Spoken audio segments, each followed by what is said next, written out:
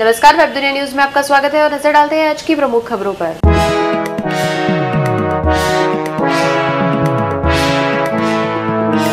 राहुल गांधी की पीएम मोदी पर टिप्पणी से बवाल भाजपा नाराज़।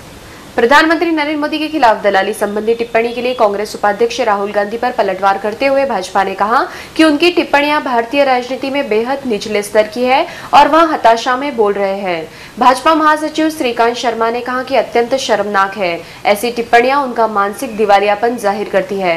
लक्षित हमलों को लेकर सेना और प्रधानमंत्री की हर ओर तारीफ़ हो रही है। मोदी के फैसले के लिए उनकी सराहना हो रही है और यह बात राहुल पचा नहीं पा रहे हैं। राहुल गांधी ने मोदी पर सीधा हमला कर आरोप लगाया कि वे गरीब गरीबों, किसानों, मजदूरों और बेरोजगारों के साथ अन्याय कर रहे हैं और सीमा की रक्षा करने वाले देश के जवानों की खून की दलाली कर रहे हैं।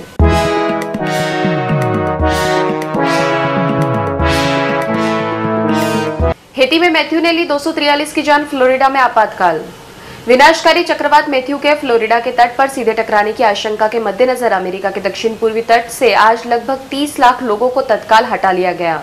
मैथ्यू के कारण सिर्फ़ हेती में ही अब तक दो से ज़्यादा लोगों की जान जा चुकी है। राष्ट्रपति बराक ओबामा ने फ्लोरिडा के लिए आपात स्थिति की घोषणा की है।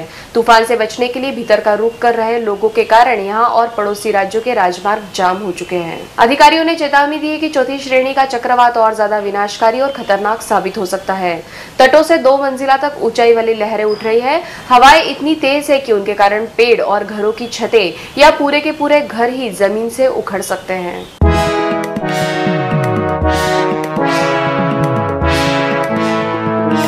चीन के वीटो इस्तेमाल करने के तरीके से अमेरिका चिंतित।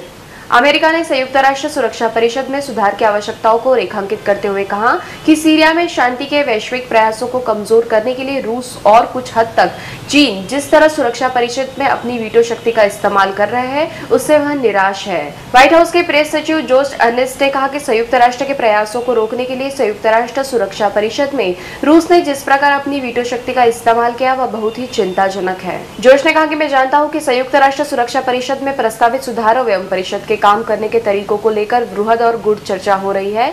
मैं जानता हूँ कि इसमें विस्तार करने के संबंध में कुछ प्रस्ताव है। भारत में हमारे मित्रों की इस प्रकार के सुधारों से लाभ प्राप्त करने में निश्चित ही रुचि है।